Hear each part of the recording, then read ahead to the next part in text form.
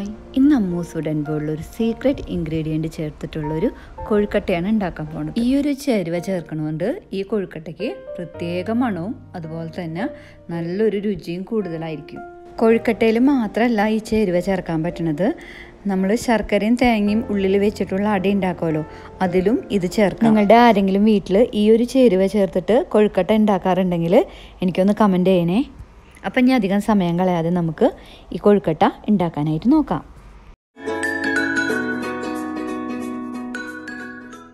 കൊഴുക്കട്ട ഉണ്ടാക്കാനായിട്ട് ഒന്നര കപ്പ് വെള്ളം ഒരു പാത്രത്തിലേക്ക് ഒഴിച്ചു കൊടുക്കുന്നുണ്ട്.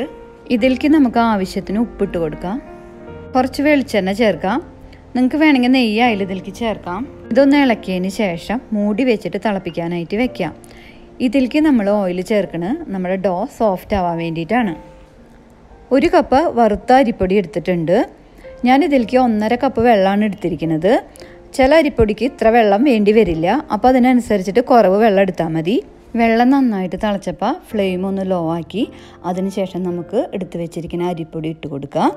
എന്നിട്ട് ഒരു മരത്തിന്റെ ഒരു കയ്യിൽ ഉപയോഗിച്ചിട്ട് നന്നായിട്ട് ഇളക്കി യോജിപ്പിച്ച് കൊടുക്കണം. ഫ്ലെയിം ഓഫ് ചെയ്തതിന് ശേഷം മൂടി വയ്ക്കുക കുറച്ചൊന്ന് ചൂടാറുമ്പോൾ നമുക്കിതൊന്ന് നന്നായിട്ട് കുഴച്ചെടുക്കണം. ആ സമയം കൊണ്ട് നമുക്ക് ഇതിലേക്കുള്ള ഫില്ലിങ്സ് റെഡിയാക്കാം. നല്ല കട്ടിയുള്ള ശർക്കരപ്പാനി ഇവിടെ ഞാൻ റെഡിയാക്കി വെച്ചിട്ടുണ്ട്. ഇതിനായിട്ട് ഞാൻ ഇരുന്നൂറ്റമ്പത് ഗ്രാം ശർക്കരയിലേക്ക് കാൽ കപ്പ് വെള്ളം ഒഴിച്ചിട്ട് ഒരു മീഡിയം ഫ്ലെയിമിലിട്ടിട്ട് നന്നായിട്ട് ഉരുക്കിയെടുത്തതാണിത്. നമ്മൾ ശർക്കര പാനിയാക്കുമ്പോൾ അച്ച അങ്ങനെ തന്നെ ഇടുന്നതിലും കൂടുതൽ നല്ലത്. അതൊന്ന് ചതച്ചിട്ട് ഇട്ട് കഴിഞ്ഞാൽ വേഗത്തിൽ തന്നെ നമുക്ക് പാനി തയ്യാറാക്കാനായിട്ട് പറ്റും. ഒരു വലിയ തേങ്ങര പകുതി ഭാഗം ചെരുകിയത് എടുത്തിട്ടുണ്ട്. ഇനി നമുക്ക് ഈ ശർക്കര പാനിയിലേക്ക് തേങ്ങ ഇട്ടിട്ട് നന്നായിട്ട് വരത്തിയെടുക്കണം. അതിനായിട്ട് കട്ടിയുള്ള ഒരു ചീനച്ചട്ടിയിലേക്ക് തേങ്ങയും ശർക്കര പാനിയും ചേർത്തിട്ടുണ്ട്. ഇനി നമുക്കിത് നന്നായിട്ട് ഇളക്കി യോജിപ്പിച്ചുകൊണ്ടിരിക്കാം കട്ടിയുള്ള ചീനച്ചട്ടി എടുക്കാൻ കൂടുതൽ നല്ലത്. അപ്പോൾ നമുക്ക് വരട്ടിയെടുക്കാനൊക്കെ നല്ല എളുപ്പമായിരിക്കും ഇത് നമുക്ക് ഇനി ഒരു മീഡിയം ടു ലോ ഫ്ലെയിമിലിട്ടിട്ട് ഇളക്കിക്കൊണ്ടിരിക്കാം ഇത്രയും നമ്മൾ ചെയ്യണത് സാധാരണ നമ്മൾ കൊഴുക്കട്ട ഉണ്ടാക്കണ പോലെ അതേ ഒരു രീതിയിലാണ്. പക്ഷേ ഇനിയാണ് നമ്മൾ ഇതിന്റെ ഉള്ളിൽ ഒരു സീക്രട്ട് ഇൻഗ്രീഡിയന്റ് ചേർക്കാൻ പോണത്.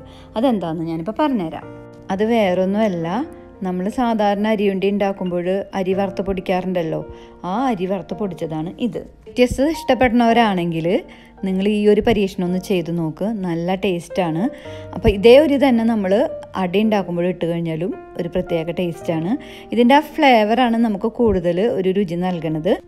ഇതെങ്ങനെ ഉണ്ടാക്കണമെന്ന് എല്ലാവർക്കും അറിയുന്നുണ്ടാവും. അറിയാത്തവരുണ്ടെങ്കിൽ ഞാൻ അരി കൊണ്ട് ഉണ്ടാക്കിയപ്പോൾ അരി വറുത്ത് പൊടിക്കണത് കറക്റ്റായിട്ട് കാണിക്കുന്നുണ്ട്. അപ്പോൾ അത് കാണാത്തവരുണ്ടെങ്കിൽ ഒന്ന് പോയിട്ട് കണ്ടോളൂ. അതിന്റെ ലിങ്ക് ഞാൻ ഡിസ്ക്രിപ്ഷൻ ബോക്സിൽ ഇടാം. അപ്പോൾ ഈ അരി വറുത്ത് പൊടിക്കാനായിട്ട് മട്ട റൈസാണ് ഉപയോഗിച്ചിരിക്കുന്നത്. ഇപ്പോൾ ഈ തേങ്ങയിലേക്ക് ശർക്കരപ്പാനി നന്നായിട്ട് പിടിച്ചിട്ടുണ്ട്. ഇതിൽ കുറച്ചുകൂടെ ശർക്കരപ്പാനി ഇനി വറ്റാനുണ്ട്. ഈ സമയത്ത് നമുക്ക് ഇതിലേക്ക് നാല് ടേബിൾ സ്പൂൺ അരി വറുത്ത് പൊടിച്ചത് ചേർത്ത് കൊടുക്കാം. ഇനി ഇത് ലോ ഫ്ലെയിമിൽ ഇട്ടിട്ട് നമുക്കിത് നന്നായിട്ട് മിക്സ് ചെയ്ത് കൊടുക്കണം. ഏലക്കായയുടെ ഫ്ലേവർ ഇഷ്ടമുള്ളവർ ഇതിലേക്ക് ഏലക്കായ പൊടിച്ചത് ചേർക്കാം. ഞാനിതിലേക്ക് ചേർക്കണില്ല. അതിന് ശേഷം നമുക്കിതൊന്ന് ഫ്ലെയിം ഓഫ് ചെയ്തിട്ട് വെക്കാം. അപ്പോൾ ഇതൊന്ന് ചൂടാറുമ്പോഴേക്കും നമുക്ക് നമ്മൾ നേരത്തെ തയ്യാറാക്കി വെച്ചിരിക്കുന്ന അരിപ്പൊടി നന്നായിട്ട് സോഫ്റ്റായിട്ട് കുഴച്ചെടുക്കണം. കുഴയ്ക്കാൻ എളുപ്പത്തിന് വേണ്ടിയിട്ട് ഇത് നമുക്കൊരു പരന്ന പാത്രത്തിലേക്ക് ഇട്ടിട്ട് കുഴച്ചെടുക്കാം. ഇതിന് അത്യാവശ്യത്തിന് ഒരു ചെറിയ ചൂടുണ്ട്. അപ്പോൾ ഈ ഒരു ചൂടിൽ വേണം ഇത് കുഴച്ചെടുക്കാനായിട്ട്. നല്ല സോഫ്റ്റ് ആവണ വരെ നമുക്കിത് നന്നായിട്ട് കുഴച്ചെടുക്കാം. ഇപ്പോൾ ഈ ഡോ സോഫ്റ്റ് ആയിട്ടുണ്ട്. ഈ സമയത്ത് നമ്മൾ ഇത് വേവിക്കാനുള്ള വെള്ളം ചൂടാക്കാനായിട്ട് വെക്കുക. സ്റ്റീമറിലാണെങ്കിൽ സ്റ്റീമറിൽ ഇഡലി കുക്കറിലാണെങ്കിൽ അങ്ങനെ. ഇനി നമുക്ക് മാവ് നീളത്തിൽ ഇങ്ങനെ ഒന്ന് പരത്തി കൊടുക്കാം. അതിനുശേഷം നമുക്ക് ആവശ്യത്തിനുള്ള വലുപ്പത്തിനുള്ള ഉണ്ടകളാക്കി എടുത്തിട്ട് നന്നായിട്ട് കയ്യിൽ വെച്ചിട്ട് ഒന്നും കൂടി ഒന്ന് ഒരു ഷേപ്പ് ചെയ്ത് കൊടുത്തിട്ട് ഇങ്ങനെ പരത്തി പരത്തി എടുക്കാം. പരത്തുമ്പോൾ നൈസായിട്ട് നമ്മൾ പരത്തണം. വിരൽ ഉപയോഗിച്ചിട്ടൊന്ന് പ്രസ് ചെയ്താൽ മതി. എന്നിട്ട് ഇങ്ങനെ സൈഡിലേക്ക് ഒന്ന് ഷേപ്പ് ചെയ്ത് കൊടുക്കാം. എറ്റങ്ങളൊക്കെ കനം കുറച്ചിട്ട് എടുക്കണം. ഇങ്ങനെ എന്നിട്ട് ഒന്നുകൂടി ഒരു കുഴി പോലെ ആക്കി കൊടുക്കണം. അത്യാവശ്യത്തിനൊരു കുഴി. പിന്നെ സൈഡൊക്കെ നന്നായിട്ട് കനം കുറയ്ക്കാനായിട്ട് ശ്രദ്ധിക്കുക. ഇനി ഇത് നമുക്ക് വട്ടത്തിലൊന്ന് കൈകൊണ്ടൊന്ന് പ്രസ് ചെയ്തിട്ട് ഒന്ന് ചുറ്റിച്ച് കൊടുക്കുക എല്ലാ ഭാഗവും ഒന്ന് റെഡിയാക്കി കൊടുക്കുക ഒന്ന് പ്രസ് ചെയ്ത് കൊടുത്താൽ മതി. കുഴി ഏകദേശം നന്നായിട്ട് റെഡി ആയിട്ടുണ്ട്. ഇനി ഇതിലേക്ക് നമുക്ക് ആവശ്യത്തിന് വേണ്ട ഫില്ലിങ് ചേർക്കാം. നിങ്ങൾക്ക് കൂടുതൽ മധുരം ഇഷ്ടമുള്ളവർ കൂടുതൽ ചേർക്കാം. അപ്പോൾ ഒരു അത്യാവശ്യത്തിനുള്ളത് ഒരു ടേബിൾ സ്പൂണോളൊക്കെ മതിയായിരിക്കും. ഇനി നമുക്ക് അതൊന്ന് നന്നായിട്ടൊന്ന് ഒതുക്കി വെച്ച് കൊടുക്കണം ഫില്ലിങ് അല്ലെങ്കിൽ നമ്മൾ ഇത് സീൽ ചെയ്യുന്ന സമയത്ത് പുറത്തേക്കൊക്കെ പോരും. അപ്പോൾ ഒതുക്കിയതിന് ശേഷം മാത്രം നമ്മൾ ഒരറ്റത്തു നിന്ന് മറ്റേ അറ്റം വരെ ഒന്നിങ്ങനെ ഒട്ടിച്ചൊട്ടിച്ച് കൊടുക്കുക.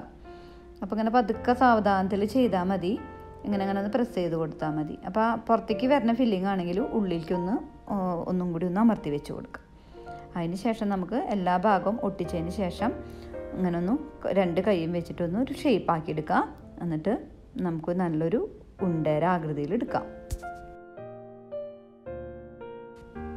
അപ്പോൾ ഒരെണ്ണം ഇവിടെ റെഡി ആയിട്ടുണ്ട്. ഇനി ബാക്കിയുള്ള കൊഴുക്കട്ടകൾ ഇതുപോലെ തന്നെ നമുക്കിങ്ങനെ ഫില്ല് ചെയ്തിട്ട് എടുക്കാം.